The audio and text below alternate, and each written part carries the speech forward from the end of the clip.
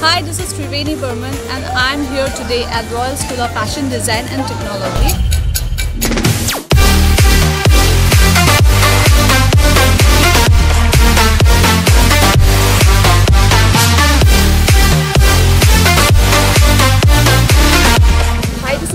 Kamath and today we are shooting for Royal School of Fashion Design and Technology. As you can see, this is a very quirky outfit that I'm wearing right now and uh, in fact all the outfits were really beautiful and really fun that we shot today.